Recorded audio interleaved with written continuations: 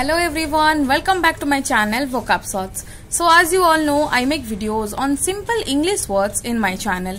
In today's video, we will be learning about deliberate. So yes, let's get started. Deliberate is an adjective. The Hindi meaning of deliberate is सोच समझकर काम करना यानी सोचा समझा काम करना So yes, now let's learn how to implement deliberate in a sentence. If I will say, we need to answer the questions after deliberating it. Like एक question का answer हमें तभी करना चाहिए जब हम सोच समझ ले. So in this sense, we can use deliberate in a sentence. Now let's learn the antonym and the synonyms of deliberate.